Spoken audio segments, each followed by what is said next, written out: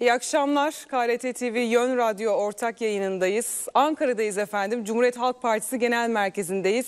Yanımda gazeteci Yavuz Oğhan var. Bu akşam Millet İttifakı'nın 13. Cumhurbaşkanı adayı Cumhuriyet Halk Partisi Genel Başkanı Sayın Kemal Kılıçdaroğlu yayın konuğumuz. Efendim hoş geldiniz. Teşekkür ederim. Sizler de hoş İyi geldiniz. akşamlar, sağ olun, İyi akşamlar. İyi akşamlar. Yavuz abi sen de hoş geldin. Ee, Teşekkür ederim. Efendim nasılsınız diyerek başlayalım. Yoğun bir tempo var malum. E, öyle e, sabah erken çıkıyoruz. E, her gün e, iki il bazen üç oluyor. E, çalışıyoruz sonra Ankara'ya dönüyoruz. Sonra bir de yayınlar oluyor üstüne böyle. üstüne yayınlar oluyor tabii doğru. Mülakatlar Üstüne yayın- oluyor. Yayınlar oluyor, mülakatlar oluyor. E, sağ olsun e, bazı gazeteler yazılı gönderiyorlar soruları. Onları E, biz onlara hani böyle gecenin ilerleyen saatlerinde de bir şeyler yapıp hazırlayıp göndermeye çalışıyoruz. E, sonuçta hayat böyle devam ediyor. Ses nasıl koruyorsunuz? Ben Ee, geçen hafta bir sizi dinledim. Hafif ses çatallıydı. Evet. Ekrem Bey'in bir ara sesi gitti geldi. Siz nasıl koruyorsunuz? Ne yapıyorsunuz? Vallahi bir sürü e, şey içiyoruz. E, sıcak su. Yani zencefilli, ballı vesaire böyle. E, onlarla idare ediyoruz. E, fena değil ama. Evet, fena değil iyi. tabii. Çatal ama gayet iyi Evet görünüyor. fena değil. Bugün Denizli ve Niğde'deydiniz. Biraz miting alanlarını sormak istiyoruz. Sayın Genel Başkan nasıl bir atmosfer var? Ne görüyorsunuz? Miting meydanları ne söylüyor size? Şöyle e, aslında bir değişim arzusu var. Yani bunu toplumun her kesiminde görüyorsunuz. E, bu değişim arzusunu e, sandığa göt yani yansıtmak e, ve oradan sonuç almak gerekiyor. Tabii doğal olarak kararsızlar da var. Uzun yıllardır e, AK Parti'ye bağlı olup onlara oy veren ve- kendisini biraz aidiyet duygusu AK Parti ile arasında bir aidiyet duygusu oluşturan kesimler de var. Ama e, şikayet de ediyorlar. Hayatı görüyorlar çünkü. Sıkıntıları görüyorlar. işsizliği görüyorlar. E, mutfaktaki yangını görüyorlar. E, onlar da ya artık yeter yani 20 22 yıl oldu. Ya bir değişe, bir değişim olsun, bir değişimi görelim diye e, seslendiriyorlar. Özel toplantılarda, e, yüz yüze yaptığımız görüşmelerde dillendiriyorlar. Dediğim gibi bir değişime ihtiyacımız var. E, her yaş grubunda bu değişim e, duygusunu hissediyorsunuz. Yani yaşlılarda da, gençlerde de, orta kuşakta da e, bir değişim olsun. E, değişik meslek grupları da aynı şekilde söylüyorlar. Çiftçisinden sanayicisine kadar. E, tabii herkes kendi penceresinden bakıyor. Örneğin esnaf e, sattığı malın e, yenisini alıp yerine koyamıyorum diyor. Çünkü malı sattıktan sonra gidip yeni aynı ürünü almaya kalktığımda e, zamlı oluyor. Dolayısıyla onu alamıyorum, alım gücüm yok. E, banka borçları var, banka borçlarını ödemekte zorlanıyorlar. Kiralar artıyor, iş yeri kiralar artıyor. Kiraları ödemekte e, zorlanıyorlar. E, çiftçiye bakarsanız zaten durumu pek parlak değil çiftçinin durumu e, maliyeti bile kurtarmıyor. Onların da kendine göre sorunları var. Ya, mazotundan, gübresinden tutun, işte belirlenen fiyatların yetersizliği. E, onlar da oradan şikayet ed- ediyorlar. Daha doğrusu şöyle özetlemek lazım. Yani şikayet etmeyen hemen hemen hiçbir kesim yok. Sadece, sadece hani sarayda oturup işte 4-5 yerden 5-6 yerden maaş alanlar bunların durumu gayet iyi.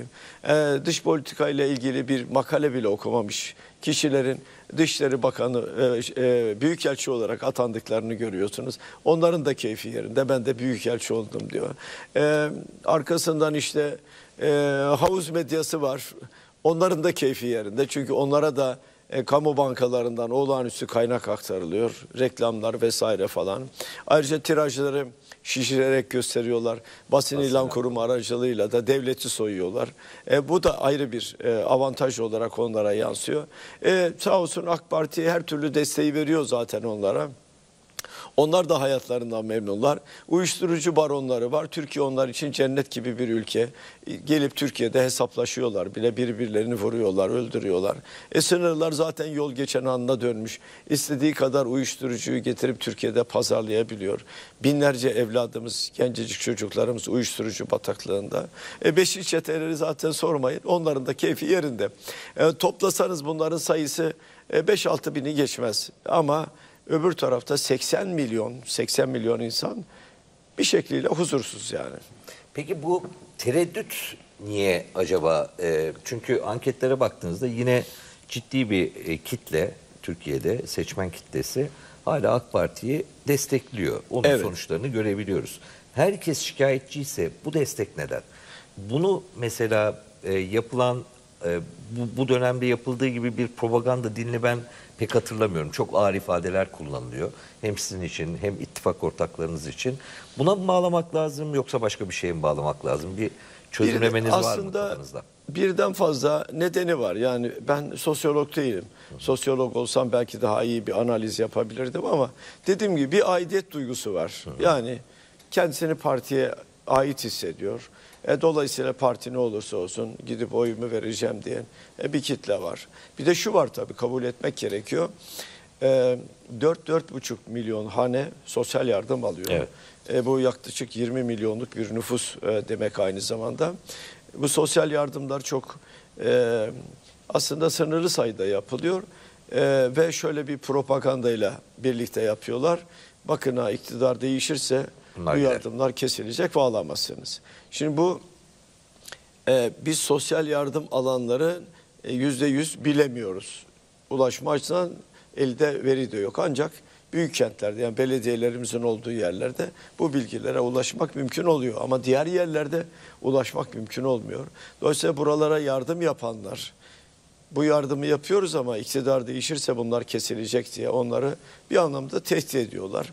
Oysa tam tersine aynı propagandayı İstanbul için, Ankara için, Adana, Mersin için Yerel yapıyorlardı. seçimlerde. Yerel seçimlerde. Yerel yönetimlerde aman ha sakın oy vermeyin bu yardımların tamamı kesilir diye. Oysa hiçbir yardım kesilmedi. Tam tersine yardımlar arttı. Tam tersine e, istihdam alanında yaratıldı. Bu insan yani yoksul insanları en azından istihdamdan yararlanma ya da çalışma ortamı e, yaratma şeklinde e, bazı gelişmeler de oldu. Belediyeler bunu da e, Yöntem de değişti biraz. Efendim? Yardım etme yöntemi de değişti herhalde. Tabii, Biraz tabii. daha az görünür halde yardım E alabiliyor Şöyle insanlar. e, şimdi belediye başkanlarımız yardım yapıyorlar ama bu yardımı e, kişinin onurunu koruyarak yani onun yoksulluğunu afişe etmeden yapıyorlar. Hatta Ekrem Bey e, seçilmeden önce süt yardımı yapacağını ifade etmiştim. E, seçildikten sonra da aradan bir süre geçti. E, Sayın Erdoğan bir açıklama yaptı. Hani siz süt yardımı yapacaktınız, yapmıyorsunuz diye. Oysa aylardan beri süt yardımı yapılıyordu ama bu afişe edilmiyordu. Gerçekten de biz e, hani sağ elim verdiğini sol el görmeyecek, insan onuru korunacak, kişinin yoksulluğunu ancak sosyal devlet bilecek, E, onu afişe etmeyeceksiniz. Aslında bu insani bir kuraldı. Yani bir kişi yoksulsa e, kabahat onda değil ki yani. Onu yoksul bırakan sistemde. Yoksa iş verseniz, istihdam yaratsanız, yetiştirebilseniz yoksulluk sınırını aşmış olacak yani. Ama dediğim gibi e, tabii bunun yanında şunu da ifade edeyim. Yoksulluğun istismar edildiği alanlar da var. Onun da biz farkındayız. Yoksul olmadığı halde ona belli aylıkların, belli paraların, belli yardımların yapıldığını da biliyoruz. Bunu da Ekrem Bey İstanbul'da yoksul ailelere yardım yaparken ailelerin durumu ile ilgili de raporlar çıkarmaya başladı. Bazılarının durumu çok iyi olduğu halde onlar da sosyal yardım alıyorlardı. Onları kestim. Yani sen fakirin hakkını yiyorsun. Sen, sen durumun çok iyi. Altında araban var. Her türlü imkanın var. Evin var. Hala sen sosyal yardım alıyorsun. Onlar kesildi. Gerçek hak sahiplerine bunlar verildi. Bir şey daha var. Onu da e, aslında söylemek isterim sosyal yardımlar yapılırken hiçbir parti ayrımı yapılmadı. Yani kişinin siyasi görüşü dikkate alınmadı. Hangi görüşten olursa olsun onun ekonomik pozisyonu dikkate alındı ve yardımlar o çerçevede yapıldı. AK Parti bunu tam tersini yapıyor tabii. Kendi e, tabanı diye tutmak istiyor onları ve onlara e, yardım yaparak bakın ha birisi gelirse bu yardımlar e, bir daha olmayacak diye tehdit ediyor. Bu dediğim nedenlerden bazıları bunlar olabilir yani sürekli hala AK Parti'ye destek verenler. Başka nedenler de olabilir. Yani e, bizim bilmediğimiz ama e, belki sosyologların ortaya Daha net. çıkaracakları. Aslında birden benim bu soruyu sormamın nedeni şuydu. Bir propaganda yürütülüyor. Sanki 14 Mayıs'ta e, Türkiye'yi en iyi yönetecek siyasi parti, siyasi parti temsilcisi, cumhurbaşkanı veya işte milletvekilleri değil de e, bir varlık yokluk mücadelesi. İşte dış e, dış güçlerin bir e, eğer muhalefet seçilirse dış güçlerin bir e, Türkiye'deki ayağı olacak. Türkiye'yi bölecek, Türkiye'yi parçalayacak, bayrağı indirecek, İstiklal Marşı'nı durduracak, ezan okunmayacak.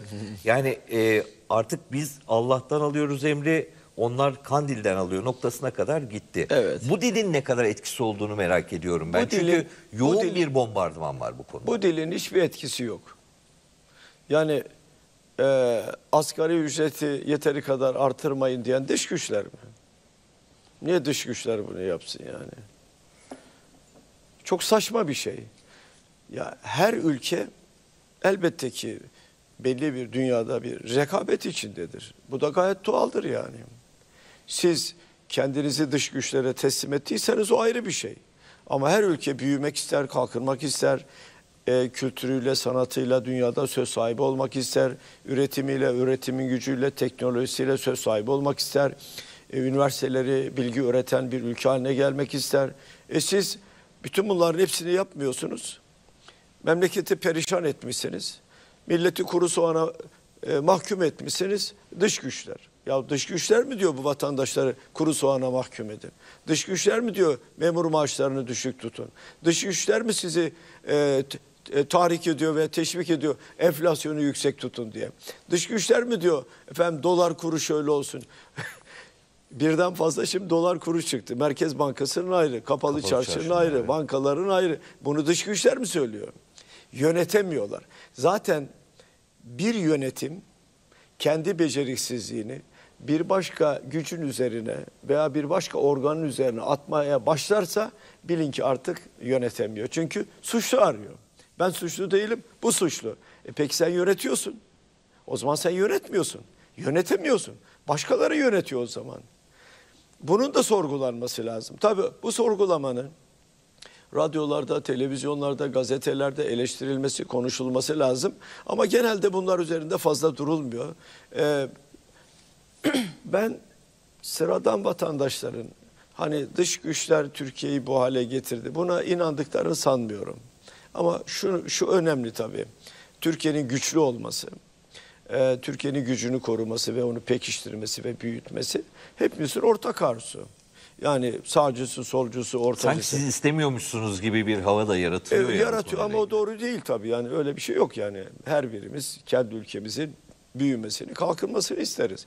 Yani dış güçler mi diyor çay fiyatını şöyle yap? Hayır, sen yapıyorsun. Eğer dış güçlerin söylediği şekilde çay fiyatını maliyetin altında belirliyorsan, altında belirliyorsan e o zaman sen dış güçlere teslim olmuşsun demektir. O zaman niye suçluyorsun? Eğer bir organı suçluyorsan ortaya net bazı veriler koyman lazım. O verilerden yola çıkarak toplumu aydınlatman lazım. Efendim başarısız olduk dış güçler. Şu oldu dış güçler. E, millet yemiyor artık. Öyle. Peki Sayın Genel Başkan siz bu aslında kara propaganda dilini e, bertaraf etmek için uzun zamandır e, evinizin mutfağından seçmene sesleniyorsunuz. Sosyal medyadan tweetler atıyorsunuz.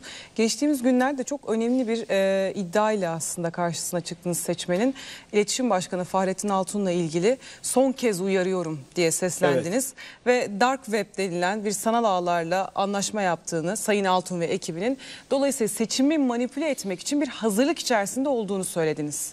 Sayın Altun da sizin bu iddianızdan sonra size cevap verdi. Bu bir siyasi çaresizliktir dedi. Bu iddiaların temeli yoktur dedi ve şu ifadeyi kullandı. Neyin önünü almaya çalışıyor biliyoruz dedi. İlk sorun bu olsun. Neyin önünü almaya çalışıyorsunuz? Neyin önünü almaya çalışıyor biliyoruz. Neyin önünü almaya çalışıyormuşuz? E bildiğini açıklasın. Niye açıklamıyor? Şimdi bu yönde bir bilgi geldi. Ama her gelen bilgiyi biz hemen kullanmıyoruz tabii. Bunu doğrulatmamız lazım. Sonra doğrulattık bazı kanallardan. Evet, e, yurt dışında işte e, bu e,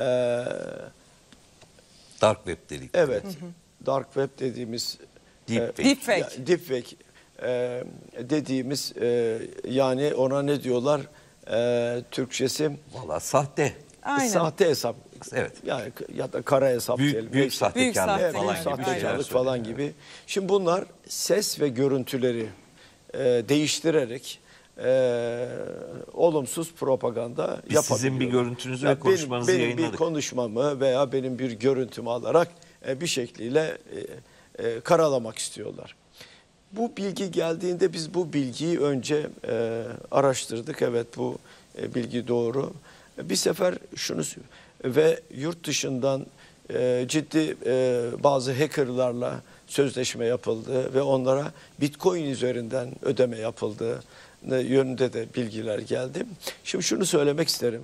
Şu anda bunu yapanlar uluslararası casus şebekelerinin e, tuzağına düşmüş durumdalar. Çünkü onlar bütün bunları biliyorlar zaten.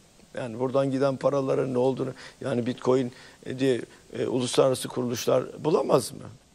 Bulurlar. Büyük devletler bulurlar. Teknolojik imkanlar bunun hepsini yakalar.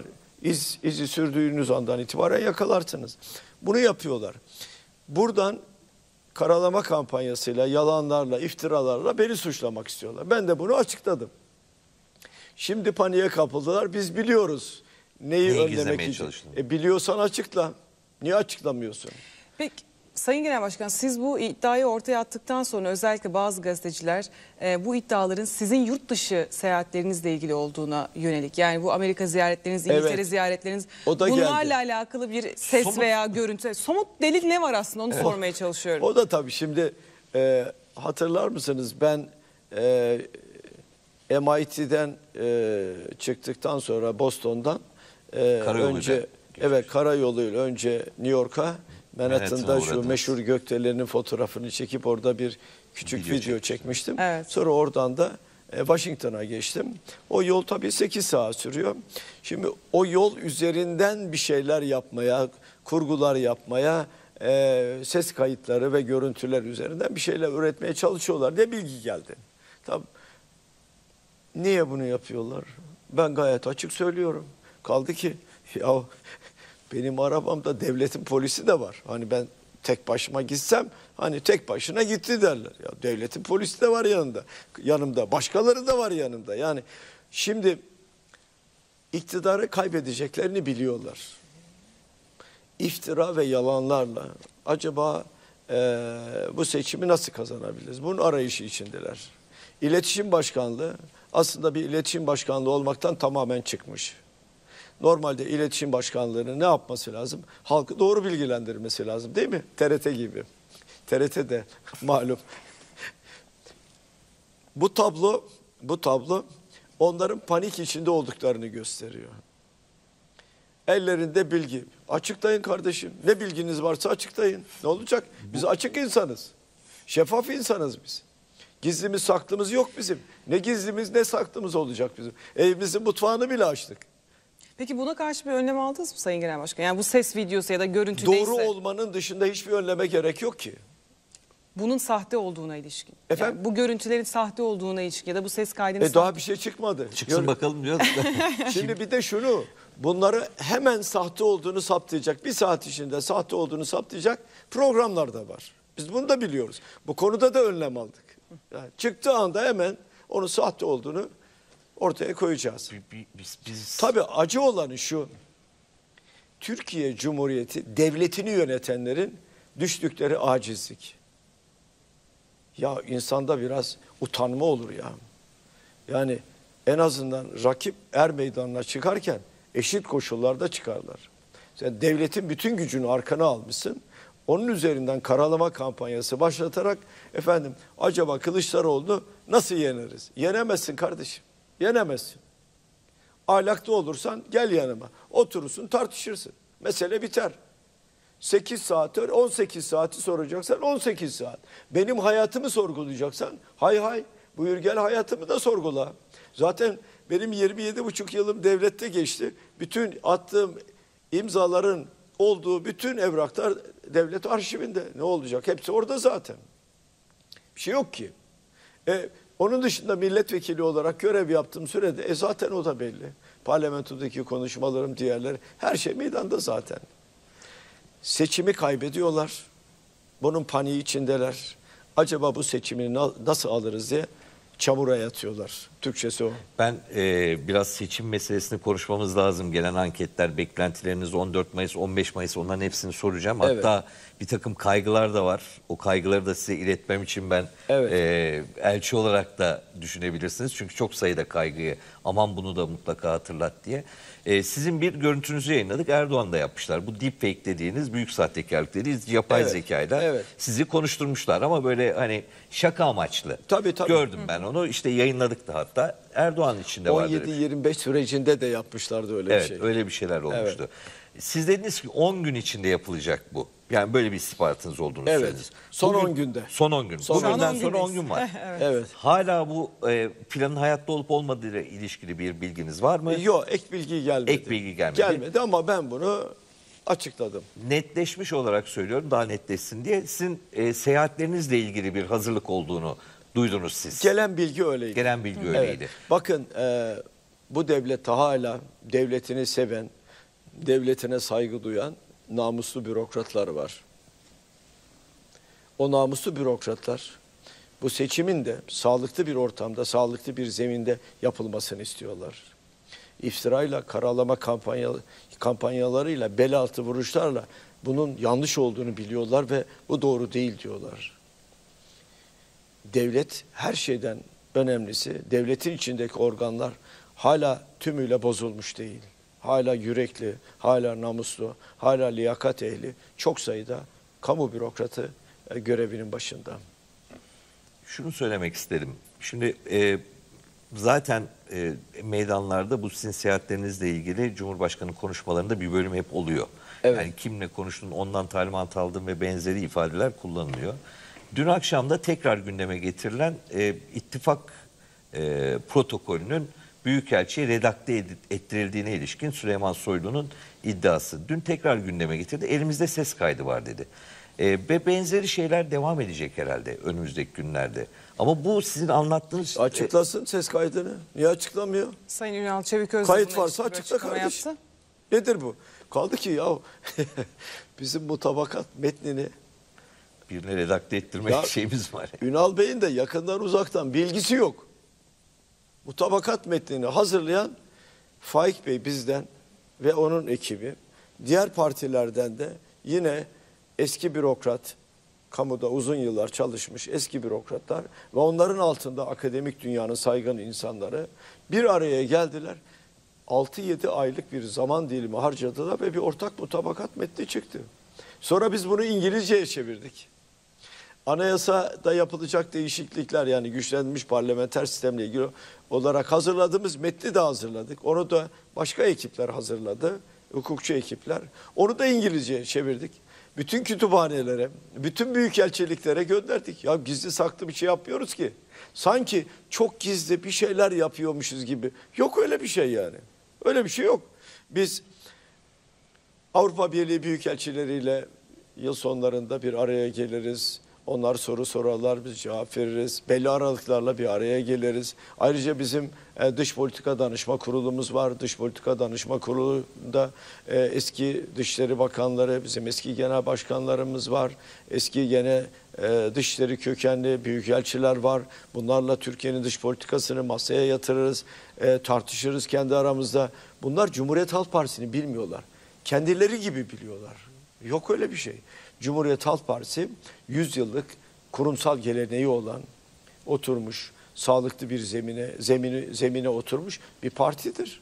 Biz her şeyden önce kendi ülkemizin çıkarlarını düşünürüz. Bizim için öncelik Türkiye'dir. Biz bunun için mücadele ederiz. Türkiye için neyi istiyoruz? Demokrasi istiyoruz, özgürlükleri istiyoruz. Biz uygar dünyanın bir parçası olmak istiyoruz. Biz kalkacağız da gizli kapaklı bir şeyler yapacağız. Ya ne yapacağız ki biz gizli kapaklı? Hayır ne yapacağız? Ben merak ediyorum. Mesela Ünal Bey ne yapacak? Ya Ünal Bey bu ülkede dış politikayı yapmış. Ya affedersin büyükelçilik yapmış. Dış politika konusunda yetkin bir insan. Ünal Bey ne yapacak ki? Ünal Bey Bu, bu e, casusluğa kadar getirildi ya dün akşam onun için bir üstünden geçmek istedim Evet. ben. Müsaadenizle. E, ciddi müsaadenizle. alınacak kişi değil zaten. Öyle değil. Peki seçimlerle mi devam edelim? Seçimlerle devam edelim. Meydanlarla, seçimlerle, anketlerle. Ne görüyorsunuz efendim? Seçim Çok ilk emin turda bitecek konuşuyorsunuz. mi? İlk Evet. turda bitecek alacağız. Onun için İlk, bunları yapıyorlar. e, diye. ilk turda bitecek. Seçimler bunu gösteriyor. Az önce konuşmaya başlarken de söylemiştim zaten. Bir değişim talebi dipten geliyor. Yeter artık diyorlar. Yani eğrisi, kötüsü vesaire 22 yıl tamam kardeşim. Çekil. Yeni bir yönetim gelsin. Bir de bakalım nasıl olacak. Sen yönettin, bizi buraya getirdin. Sonra muhtaç hale getirdin. Ciddi sorun var. E bu yeni insanlar da diyorlar ki biz Türkiye'yi buradan çıkaracağız. E getirelim bakalım deneyelim. Çıkaracak mı çıkarmayacak mı? Çıkaracağız. Daha iyi, daha iyi koşulları getireceğiz e, Türkiye'ye. Türkiye'yi hızla büyüteceğiz. Ekonomik krizden, ekonomik bunalımdan Türkiye'yi çıkaracağız. Çok kararlıyız.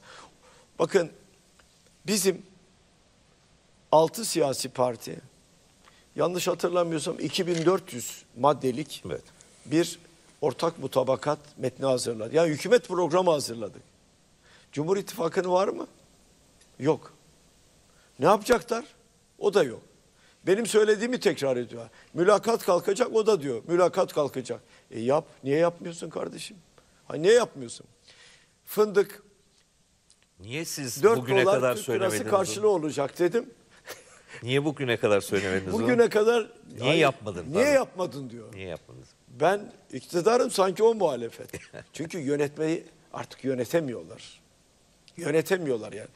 O nedenle değişimin hızla gerçekleşmesi, ilk turda bitmesi ve Türkiye'nin rahat bir nefes alması gerekiyor. Sanıyorum bu değişim isteğiyle alakalı Van önemli bir örnekti. Bu kadar ilgi bekliyor muydunuz Sayın Genel Başkan? Bu kadar.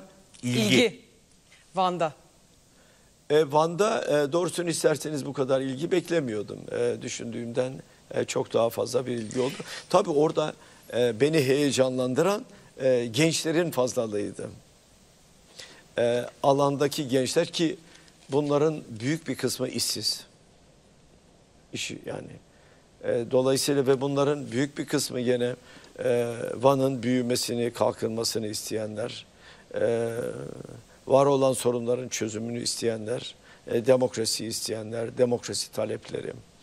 E, kayyum atandıktan sonra 306 işçinin işine son verilmiş. Ki bu işçiler çığ geldiğinde de gönüllü gidip e, çığın e, yol açtığı felaketi önlemek için de çaba harcadılar, uğraştılar. E, İnsan ekmeğiyle oynanmaz.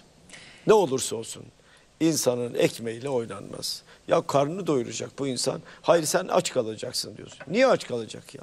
Hangi gerekçeyle aç kalacak? Karayollarının taşeron işçileri gene aynı şekilde. Onlar da e, haber göndermişler. Yani gelemiyoruz ama biz de ka- kadro talebinde bulunuyoruz. E, ne olursunuz dillendirin e, diye söylediler. Orada görünürse sorun Hatta- olacak herhalde. Tabii. Hem sorun olacak bir de taşeron işçi zaten işine son verdi mi gideceği hiçbir yer yok. Başvuracağı hiçbir şey yok yani. Gerçekten ben ona çağdaş kölelik diyorum. Yarın sabah işe gelme dediği andan itibaren bitiyor. Hakkı yok. Hiçbir hakkı yok. Gençler beni heyecanlandırdı dediniz. O gençlere de önemli bir çağrınız var bu işi büte bırakmayalım diye. Bir Evet. ikinci tur ihtimali görüyor musunuz Sayın Genel Başkan? Gençlerin bu işi ikinci tura bırakmaması lazım. Çünkü e, 5 milyon 300 bin genç ilk kez gidip sandığa oy kullanacak. Yani Türkiye'nin kaderini değiştirecek olan gençler. Biz hepimiz eski oylarımızı kullandığımızda yeni gelen 5 milyon 300 bin genç demokrasiden yana oy kullandığında Türkiye'nin kaderi değişiyor. Gençlerin şöyle bir e, bana göre e, tarih yazacağı bir ortam var. Bir otoriter yönetimi demokratik yollarla e, yolcu etmiş oluyorlar. Sandığa gidip demokrasiden yana oy kullandıklarında. Evet sandığa gideceğiz. Evet oyumuzu kullanacağız. Evet özgürlükleri getireceğiz ve bir otoriter yönetimi değiştireceğiz. Ben gençlere diyorum ki siz bunu yaptığınızda dünya siyaset tarihine çok güzel bir armağan bırakmış olacaksınız. Bir otoriter yönetimin demokratik yollarla gönderilmesini e, gönderilmesi örneğini bütün dünyaya göstermiş olacaksınız diye. Gerçekten de öyle. Gençler heyecanlı sandığa gitmek ve oylarını kullanmak istiyorlar. Ee, bu bizi de heyecanlandırıyor doğrusunu isterseniz. Ama sonuçta bu yönetimin e, ömrü doldu artık. Değişmesi lazım. Şimdi e, bu meseleyle ilgili gençlerden gelen benim de 20 yaşında bir oğlum var. Biraz ondan da nabzını almaya çalışıyorum tabii gençlerin. E, farklı düşünenler, bu yapılan propagandalardan etkilenenler var. Biraz da milliyetçilik damarının daha e, yoğun olduğunu da görüyorum e, gençlerde. Evet. Böyle bir şey de var. Mesela bu konuya ilişkin de iktidar partisi kampanyalarında bir takım argümanlar ortaya Öyle. koyuyor. Diyor ki mesela Suriye'den askerleri çekecek. Ee, eğer iktidar değişirse, Kemal Kılıçdaroğlu gelirse. Diyor ki Irak'taki operasyonları bitirecek. Suriye sınırını PKK'ya teslim edecek. Bunu bugün Cumhurbaşkanı da söyledi yani Evet. Suriye sınırıyla ilgili Tabii. sözleri. Bu konudaki açıklamanız ne? Yani mesela Suriye'deki askerler meselesi. Irak'taki operasyonlar Şimdi meselesi. devleti böyle yönetiyorlar. Bir kişi talimat verecek, askerler gelecek. Bir kişi talimat verecek, askerler gidecek. Devlet öyle yönetilmez. Öyle yönetildiği için bu halde zaten. Devlet şöyle yönetilir. Suriye'de askerimiz var mı? Var. Toplarsınız Milli Güvenlik Kurulu'nu. Milli Güvenlik Kurulu'nda Türkiye'nin çıkarları nedir, ne değildir? Askeri çekelim mi, çekmeyelim mi? Çekeceksek hangi gerekçe? Çekmeyeceksek gerekçesi ne olacak? Çekmeyeceksek yeni bir tezkereyi meclise götürmek zorundayız. Ve mecliste bizim bunu oturup bütün ayrıntılarıyla anlatmamız lazım. Belki bunun kamuoyu tarafından yani diyelim ki başka ülkeler tarafından bilinmesini istemiyorsak kapalı oturum teklif edersiniz ve kapalı oturum yaparsınız. Kapalı oturumda gerçekleri bütün milletvekillerine anlatırsınız ve onların desteğini alırsınız. Devlet böyle yönetilir siz Milli Güvenlik Kurulu'nu bir tarafa atayım, mecliste bir tarafa atayım. Mecliste oy kullananlar benim askerim, ben ne dersem el kaldırıp indirirler. Bu anlayışla beni eleştiriyor. Ben öyle bir devlet anlayışına sahip değilim ki. Devleti öyle yönetmeyeceğim ki. Milli Güvenlik Kurulu toplayacağız. Nedir bu olay diyeceğiz. Devletin menfaati neyse. Elbette devletin menfaati neyse çünkü onlar diyeceklerdir. Asker diyecek, Milli İstihbarat Teşkilatı diyecek, bölgedeki valiler, kaymakamlar, onlardan gelen bilgiler, Raporlar. bütün bunların hepsi değerlendirilecek.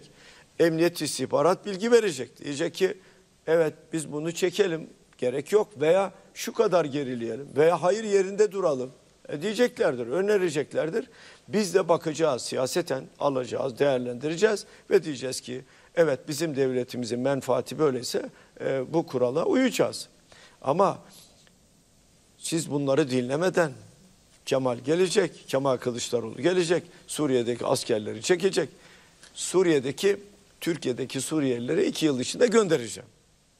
O konuda halka söz verdim. Onların evini, yolunu, okulunu, kreşini yapacağız. Neyle? Avrupa Birliği'nden alacağımız fonlarla yapacağız. Bizim müteahhitler yapacaklar. Yani sonuçta yine biz kazançlı çıkacağız. Yani bir taşla iki kuş vurmuş olacağız. Hem müteahhitlerimiz yani Türkiye kazanacak hem bu insanlar kendi ülkelerinde evi, yolu, okulu, kreşi her şeyi olacak bunların. Gaziantep'li iş insanlarına diyeceğiz ki gidin kardeşim fabrikalar kurun. Orada çalışsınlar, çalışacaklar. Türkiye böylece ekonomik olarak, ekonomik güç olarak da oraya gitmiş olacak. E, dolayısıyla insanlar yaşayacak. Gelecekler Türkiye'de tatil yapacaklar. Düğünlerini Türkiye'de yapacaklar. Her şey olacak. Asıl tehlike bunların görmediği çünkü bunlar devleti yönetmesini bilmiyorlar. Asıl tehlike şu. 3 milyon 600 bin Suriyeli. Peki yarın bunların 20 yıl sonra bunların hepsi yaşlandı büyük bir kısmı. Ne olacak? %99,9'unun sigortası yok. Hepsi kaçak çalışıyor. Hepsi 10, 12, 18 saat çalışıyor. Robottan daha ucuz. Asgari ücretin yarısına çalışıyor. O nedenle bir, bir grubu diyor ki sakın gitmesin sanayi durur. Niye sanayi dursun kardeşim ya? İnsan sömürüsü üzerine sanayi oluşur mu? Emeğin hakkı verilmeden olur mu? Emeğin hakkı verilme. Bu Türkiye'nin itibarıdır. Türkiye'nin itibarı kişi çalışıyorsa hakkını teslim etmektir. Aksi halde siz hak yemiş oluyorsunuz. Bir başka kişinin alın terini çalmış oluyorsunuz. Bu Türkiye'nin itibarına yapılmış en büyük haksızlıktır. Bu olmaz. Oraya göndereceksiniz. Avrupa Birliği bu fonları vermek zorunda. Niçin? Kardeşim eğer sen bu fonları vermezsen ben bu insanları burada tutmayacağım kusura bakma. Açacağım kapıları nereye istiyorlarsa gitsinler. Ama sen istiyorsun burada kalsınlar. Hayır kendi ülkelerinde daha huzur içinde yaşarlar. Oturacağız Meşru hükümette sözleşme yapacağız. Birleşmiş Milletleri devreye koyacağız. Diyeceğiz ki Esad'la yani Esad. elbette Esad yönetimi, meşru yönetimi o. Büyükelçilik açılacak mı Sayın Elbette açılacak. Hemen mi? Karşılıklı büyükelçilikleri açacağız. Hemen. Hemen, hemen açacağız. Dolayısıyla buradaki insanların giderken can ve mal güvenliklerini sağlayacağız. Ya Türkiye Orta Doğu'nun dominant ülkesi zaten. Biz başka bir yerden mi korkacağız yani? Niye korkalım yani? Hangi gerekçeyle korkuyoruz? Güçlü bir ülkeyiz biz. Can ve mal güvenliklerini sağlayacağız. Mesele bitecek. Suriyeli kardeşlerimiz de kendi ülkelerine uğurlamış olacağız. O efendim Suriye'den asker çekilecek. E biz orayı işgal etmeyeceğiz ki. Öyle bir niyet de yok. Onlar da söylediler zaten. Orada güvenliği sağladıktan sonra ve protokol de yapacağız. Suriye'den benim topraklarıma bir tek terörist girerse ben yeniden gelirim kardeşim. Kusura bakma. Bunun da önlemini alacağız. Biz bunlar gibi devleti yönetmeyeceğiz. Devlet akılla, bilgiyle, birikimle, erdemle yönetilir. Böyle devlet yönetilir mi? Bu hale getirdiler devleti. Peki. Peki Bir şey daha var. Buyurun. Onu çoğu kişi bilmez. E, medyada çok üzerinde durmadı. Niye durmadı bilmiyorum doğrusunu isterseniz. Son Suriye tezkeresine biz hayır dedik. Evet. Niye hayır dedik? Oradan çok Şimdi- eleştiriliyorsunuz. Şey, şimdi, tezkerede bir şey var. Terörle mücadelede Cumhurbaşkanı yabancı ülke askerlerini Türkiye'ye davet edebilir. Ya yabancı askerin benim ülkemde ne işi var? Ben ülkemde yabancı asker postalını görmek istemiyorum. Ben milliyetçiyim. Ben Kuvayi milliyetçiyim. Terörle mücadelede 30-35 yıldır yabancı askerler mi mücadele ediyordu?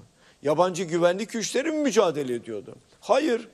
Bizim polisimizde, askerimizde, korucumuzda neyse terörle mücadelede bedel ödeyen bizim insanlarımız. Mücadele eden de bizim insanlarımız. Hayır diyor ben yabancı asker de çağırabilirim. Kim bu yabancı asker? Erdoğan'a sordum. Kim bu yabancı asker? Aldınız mı Cevap cevap? Ben yok. hatırlamadım. Hayır. Bahçeli'ye de sordum. O da evet dedi. Kim bu yabancı asker? Ve sen, sen nasıl bir milliyetçisin? Kendi ülkene yabancı askeri davet edeceksin.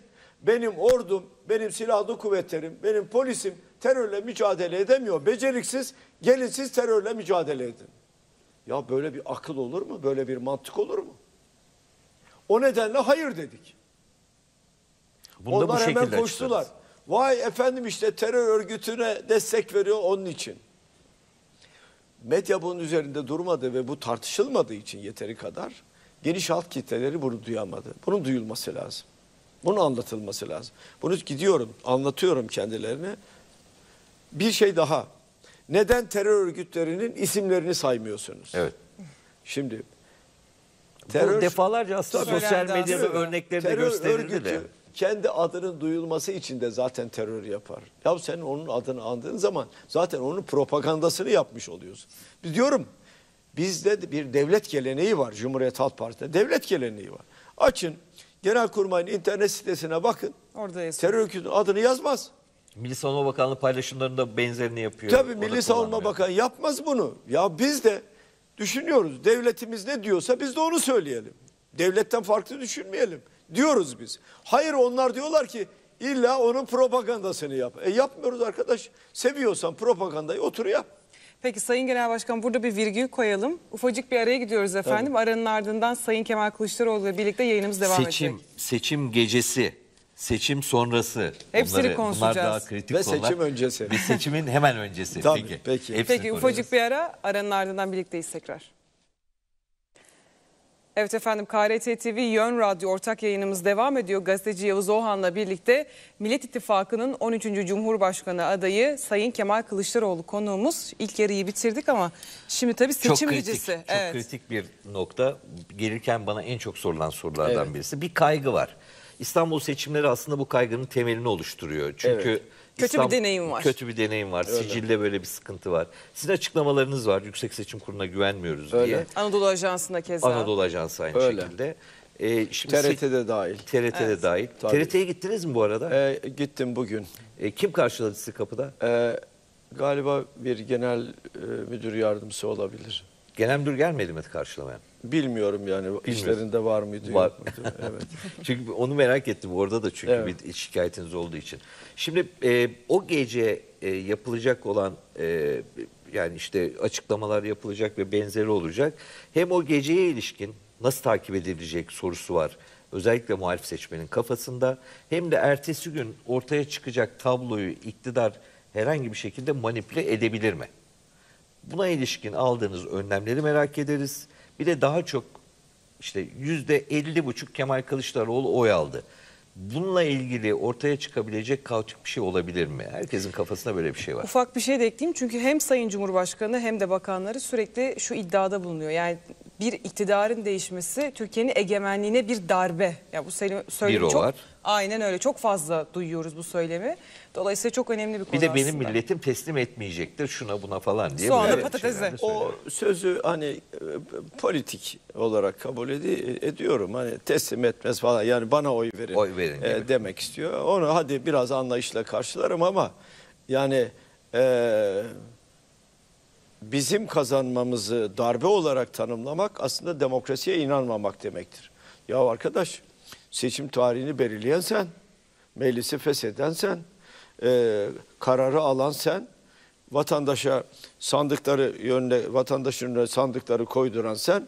Şimdi diyorsun ki vatandaş oy kullandı, benim adım çıkmasa bu bir darbedir. Yani ben halka güvenmiyorum. Demokrasiye inansızlığın bir sonucu aslında bu. İki, e, devleti tek kişinin yönettiğinin e, somut bir örneği. Ben karar veririm, ben yaparım, sandığı koydum, ben çıkarsam olur, ben çıkmasam bu bir darbedir. Bu anlayış var. Tabi bu anlayış bildiğimiz klasik tarihteki diktatörlerin anlayışıdır. Ne olursa olsun ben bunu bir tarafa bırakıyorum. Onların zaten demokrasiye inanmadıklarını da biliyorum. Ee, yargıyı kontrol altına aldıklarını da biliyorum. Yüksek Seçim Kurulu'na güvenmiyoruz. TRT'ye güvenmiyoruz. Anadolu Ajansı'na güvenmiyoruz. O zaman biz kendi göbeğimizi kendimiz kesmek zorundayız. Tam bir buçuk yıldır, bir buçuk yıldır sandıkların güvenliği için çalışıyoruz. Sandık sayısı belli değildi ama geçen seçimlerdeki sandık sayılarını esas alarak bir çalışma yaptık. Sonra sandık sonuçları yani sayılar, Sayılar belli ve oldu. yerler belli olduktan sonra çalışmayı güncelleştirdik. Arkadan deprem oldu. Deprem sonrası bir çalışma daha yapmak zorunda kaldık. Çünkü Orada hayatını değişti. kaybedenler oldu. e, bulundukları yerin dışına çıkanlar oldu. Oradan yeniden bir e, çalışma daha yaptık. Şu anda yanlış hatırlamıyorsam e, geçen hafta arkadaşlar sandıkların yüzde 99,9'una temsilci bulunduruyoruz. Var yani. Bunlar sadece temsilci görevlendirmekle değil bu olay. Onlara tek tek e, gönüllü gençlerden oluşan bir ekibimiz var. Onlar tek tek telefon ediyorlar. İl ve ilçe başkanlarının bize gönderdikleri listelerde adlı soyadı ve telefonu var. Soru şu, siz hangi sandıkta görevlisiniz? Doğru yanıt veriyorsa hemen artı koyuyoruz. Tamam bu biliyor orada. Eğer hayır bilmiyorum diyorsa oraya eksi koyuyoruz. Değiştiriliyor. Ar- ar- arıyoruz ve bunu değiştirin ya da hatırlatın. Eğer gerçekten e, bu işi yapacaksa devam, yapmayacaksa kaldırın Başkası. yerine yeni bir arkadaş koyun. Ayrıca bunların tamamı eğitildi. Eğitim merkezimiz bu insanları yani bu arkadaşlarımızı Ne yapacaklarını biliyorlar yani. Ne, yani sandığın başına nasıl gidecekler, başlangıçta tutanağı imzalamayacaklar, oy kullanmada nasıl olacak, sayım sırasında asla dışarı çıkmayacaklar, sigara içmek için bile dışarı çıkmayacaklar, orada kalacaklar. Toplamlar nasıl yapılıyor, rakamlar nasıl aktarılıyor, bütün bunların hepsini kontrol edecekler, orada olacaklar. İmzaladıktan sonra tutanağın bir fotoğrafını çekip cep telefonuyla genel merkezimize gönderecekler. Asıl kritik olan da o herhalde. Evet bizim elimize ıslak imzalı e, tutanak olacak böylece. E, bu konuda e, örgütleri iyi eğittik ve herkes e, görevinin başında olacak. E, tabi bu sadece CHP'nin. E, bizim dışımızda diğer Parti beş var. parti daha Sandık var. Biz var mesela, partiler de Deva var. Partisi'nin. Ayrıca diğer partiler de var. Onlar da e, te- temsilci gönderecekler. E, Arzu ederlerse biz müşahit kartı yeteri kadar müşahit de görevli değil ama gözlemci olarak da e, CHP'li görevlendirebileceğiz. Bu konuda da herhangi bir e, sorunumuz yok.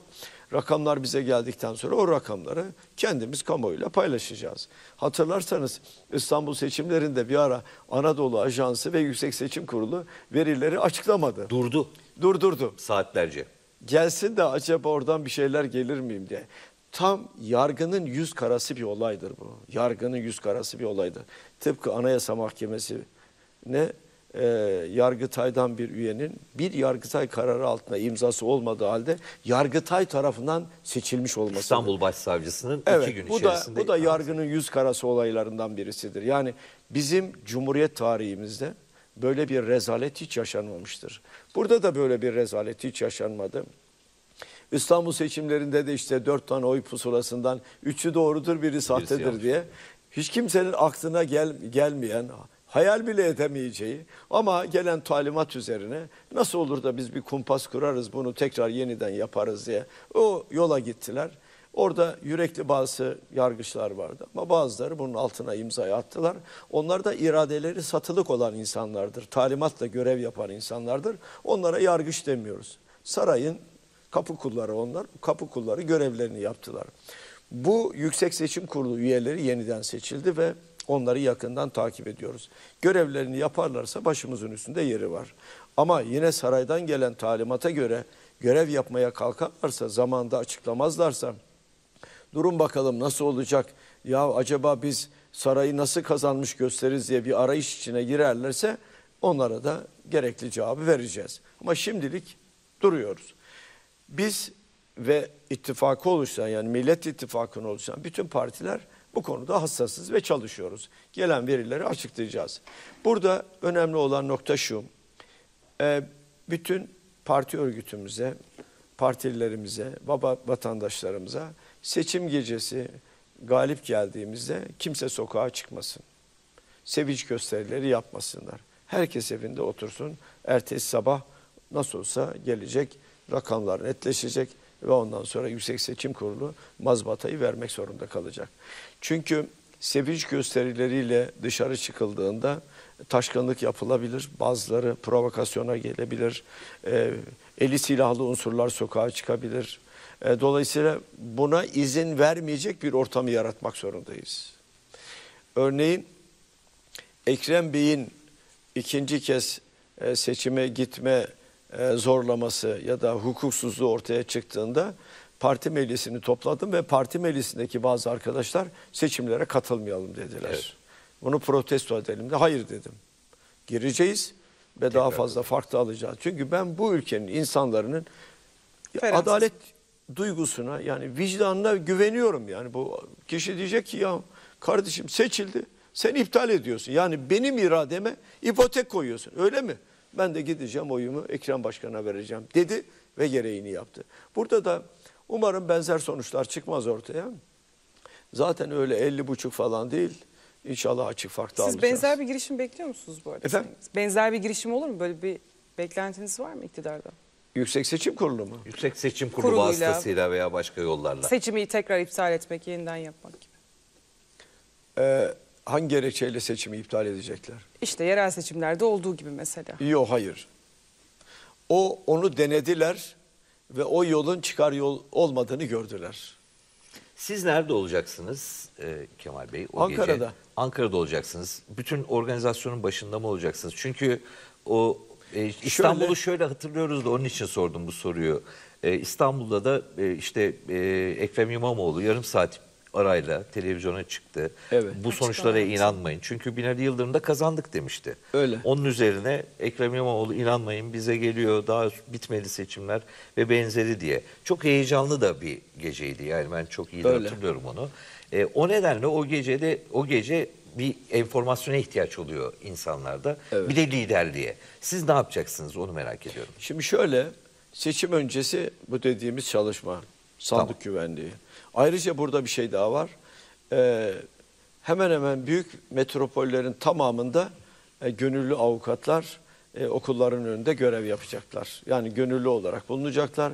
Herhangi bir sorun çıktığı zaman Müdahale bizim sandık görevlisi telefon edecek ve gelecek müdahale edecek. Yani daha doğrusu hukukun gereğini yapacak. Eğer hukuksuz bir Hukuki şey müdahale demek istedim. Tabii evet o, o müdahaleyi yapmış olacak. Seçim gecesi ve seçimden sonra e, kendi aramızda konuşuyoruz şu anda. Nasıl bir e, yol yöntem izleyelim diye. Onu netleştirmedik. Henüz netleştirmedik. Ama önümüzdeki günlerde e, bunu netleştireceğiz. Bir iki gün içinde. Göz kırpıyorlar. Son soru olabilir. Öyle Onun için mi? kadro meselesine mi? Evet e, bir yapsak? girelim o zaman. Hadi. Geçtiğimiz günlerde bir video çektiniz Sayın Ali Babacan'la birlikte. Evet. Ee, sonrasında tabii merak ediyoruz acaba bu kadrolar ne zaman tam olarak netleşecek bir ta- tarih veriyor musunuz? Yani seçimden önce mi seçimden sonra mı? Ben daha Kimler çok- olacak? Şimdi kadrolarım Ben daha şunu- çok isim merak ediyorum. Evet. isim merak ediyorum. Mesela Hazine Bakanlığı'nda e, İyi Parti'den e, Profesör Bilge, Bilge. Yılmaz olacak Evet. mı? Maliye Bakanlığı'nda sizin Genel Başkan Yardımcınız olacak mı? Bülent Kuşu. Bülent Kuşuoğlu. Böyle isimler Ahmet Akın belirlendi. Enerji Şöyle, Bakanı olacak e, mı? Yavuz Bey şöyle. Bununla ilgili görüşme yapıldı mı Tabii yani? tabii. İyi. Evet. Yok hayır herhangi bir görüşme yapılmadı. Tabii herkesin gönlünde bir şey var ama sonuçta ittifakı oluşturan liderler oturup buna karar verecekler. Yani oturacağız karar vereceğiz buna. Bunun yolu yöntemi konusunda da ilkeyi belirledik. Her partiye bir bakanlık sonra bakanlık alınan oylara göre bakanlık sayıları belirlenecek. Belirlenecek. Bu da tutanak tutuldu. Altına hep beraber İmzaladınız. imzaladık ve bunu kamuoyuyla da paylaştık. Bu bunu bir tarafa koyuyoruz. Şimdi bakanlıklar üzerinde duruluyor. Aslında en son durulması gereken konu bakanlıklar. Neden? Önce bürokrasi üzerinde durmamız lazım. Çünkü bakan geldi oturdu. O bakanlığı ne kadar tanıyor? O bakanlıktaki bürokratlar, düzgün, namuslu bürokratlar önce bakanlığın durumuyla ilgili bakana briefing verecekler, sorunları anlatacaklar. Çünkü bunların bir kısmı istifa etmiş sayılacak. Evet. Öyle. Oralara, Yeni sisteme göre. Tabii oralara düzgün insanlar kalacak yerinde. Yani herkes illa e, görevine son verilecek diye bir kural yok. Yani görevini layıkıyla yapmışsa, e, onun yani liyakat sahibi ise o görevi doğru yapmışsa görevine devam edecek zaten. Yerine yeni insanlar atanacak. Dolayısıyla siz en kritik konu ne? Ekonomi. Evet.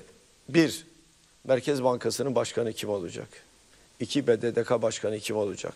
Üç, Sermaye Piyasası Kurulu başkanı kim olacak? Dört, Kamu İhale Kurumu başkanı kim olacak? EPDK başkanı kim olacak? İMKB başkanı kim olacak? Şimdi buralara yetkin insanlar, finans çevrelerine, içeride ve dışarıda finans çevrelerine güven veren insanları atamak zorundasınız. Bakan kim olursa olsun. Şimdi herkes bakan kim olacak diye soruyor. Bakanın bir önemi yok ki. Bakan gelecek, oturacak, siyasi karar alınacak. Bürokrasi o siyasi kararların, alınan kararın artısını ve eksisini siyasi otoriteye sunacak.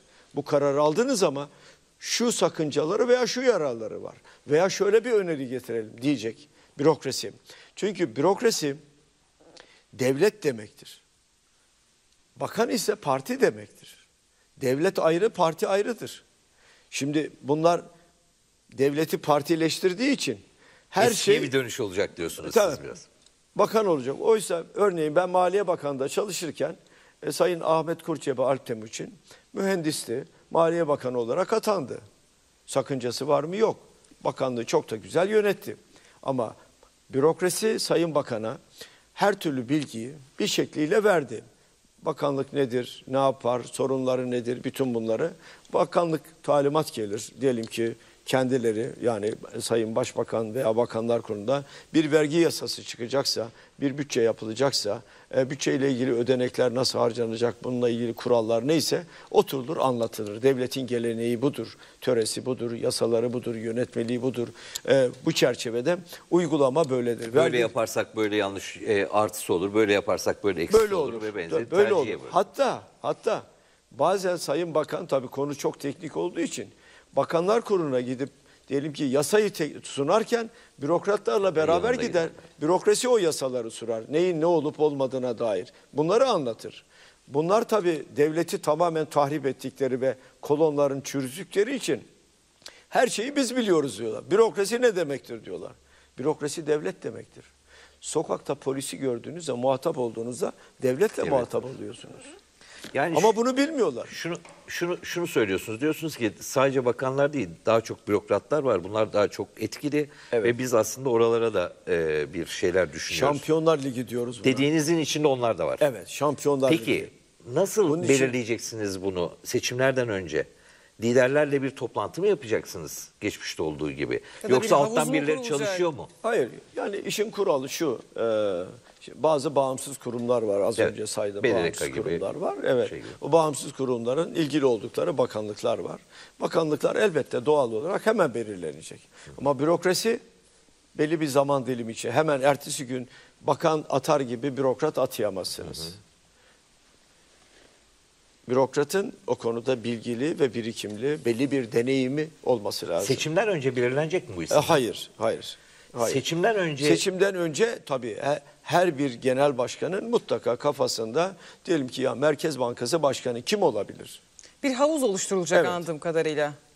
Ben kafamda diyelim evet şu kişi iyi bir Merkez Bankası Başkanı olabilir. O zaman onu diğer liderlere beraber konuşuruz. Bunun Merkez Bankası Başkanı olması lazım. Neden? İçerideki finans çevrelerinde de dışarıdaki finans çevrelerinde güven veren ve Merkez Bankası'nı kendi kurallarına göre yönetecek bir kişi. Bağımsız bir Merkez Bankası Başkanı olacak.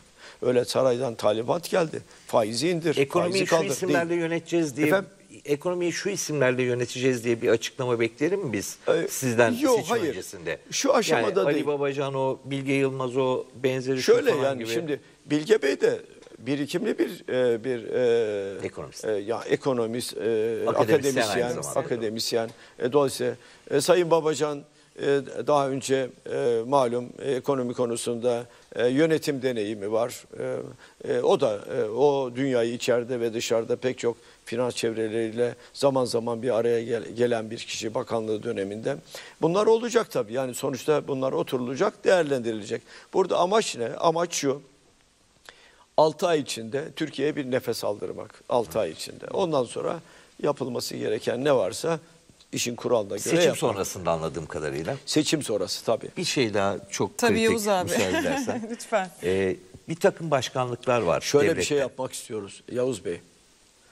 Devleti gerçekten de devlet konumuna getirmek istiyoruz. Devleti bunlar tahrip ettiler. Yargı yargı olmaktan çıktı. Parlamento parlamento olmaktan çıktı. Yürütme organı ise bir kişi. Bir kişi. Eskiden müsteşarlıklar vardı. Müsteşar olmak için o alanda en az en 10 az yıl. 12 yıl 12 çalışman yıl mı? gerekiyordu. Çalışman gerekiyor. Şimdi Bakan bunların tamamı var. bitti. Zaten Bakan siyasi yardımcıları oluyor. dünyadan habersiz neyse. Tam da o konuyla ilgili bir şey soracaktım. Şu anda başkanlıklar var. Doğrudan Cumhurbaşkanı'na bağlı olan. Diyanet İşleri Başkanlığı gibi, e, MİT Başkanlığı gibi, Evet. Savunma Sanayi Başkanlığı gibi. Bu başkanlıklarda görev alan, tepede görev alan isimlerden birlikte çalışacağınız isimler olabilir mi? Olabilir tabii. Düzgün çalışmışlarsa, görevlerini tam yapıyorlarsa. Mesela MİT Müsteşarı, mesela Diyanet İşleri Başkanı, mesela Bilmiyor tabii. Şimdi illa de, az önce de söyledim. İlla herkesin yaklaşık 1000 veya 1200'e yakın veya 1300'e yakın Görevden bürokrat ayrılacak. istifa etmiş sayılıyor. Yani e, Erdoğan'dan sonra istifa etmiş sayılıyor. Tabii istifa ettiler diye hemen ertesi gün kapıyı kapatıp gitmiyorlar. Yani görevlerinin başındalar bunlar. Yenisi gelinceye Evet, kadar. yeni bir ya atama yapılıncaya kadar veya evet başarılı birisidir görevine Buyurun, devam, eder. devam edin Bu da oturulacak, karar verilecek. Yani şöyle bir mantıkla asla devleti yönetmeyeceğiz. Geldik, her şeyi darmadağın edeceğiz ve yeni bir şey yapacağız. Hayır efendim, devlet öyle yönetilmez. Kinle, öfkeyle, intikam duygusuyla devlet yönetilmez. Devlet adaletle yönetilir. Kişinin görüşü, siyasi görüşü hiç önemli değil benim açımdan. Benim açımdan o işin yapıla, yapıyor mu yapmıyor mu? o işi iyi yapıyor mu yapmıyor mu? İyi yapıyorsa tamam kardeşim gel sen bu işi iyi yapıyorsun al bunu götür. Çünkü onun yapacağı her güzel iş benim haneme yazacak. Her kötü işte benim haneme yazacak. O nedenle aşırı siyasallaşmamış, politize olmamış, devleti bilen, e, kurumlarını bilen, devlet terbiyesini bilen, neyin ne olduğunu bilen, siyasetçiyle konuşurken doğruları söyleyen, çekinmeden doğruları rahatlıkla ifade eden e, bir yapı, bir düzen istiyoruz aslında. Peki son Ömer Bey oradan bakıyor uyarıyor bizi bir bitirin diye. istiyoruz. Evet, var. Son olarak şunu sorayım diğer liderleri de mutfağınızda ağırlayacak mısınız diyeyim. E, gelirse ağırlarız tabii, niye ağırlamayalım tabii. Peki çok çok teşekkür Şunun ediyoruz. altını çizelim. Eğer e, seçimleri kazanırsak e, muhalefet destekleyen seçmenlerin sokağa çıkmamasını rica ediyorum dedi e, Kemal Bey. O gece Evet, evet. provokasyona açık bir Evet. ortam olduğunu. Bir ortam herhalde bu e, gecenin en flash olabilir o ortamı birisiydi. yaratmamak gerekiyor. Sayın Genel Başkan çok çok teşekkürler bu yayına katkınız için. Yavuz Ohan sana da çok Ben de çok teşekkürler. teşekkür ederim. Eksik Peki olmayın. biz burada yayınımızı noktalıyoruz. Özel yayınımızı KRT TV Yön Radyo ortak yayınımızı. Efendim çok ciddi bir e, teveccüh gösterdiğiniz soru yağmış özellikle sosyal medyadan ama zamanımız yettiğince sormaya çalıştık. Burada noktalıyoruz özel yayınımızı. İyi akşamlar.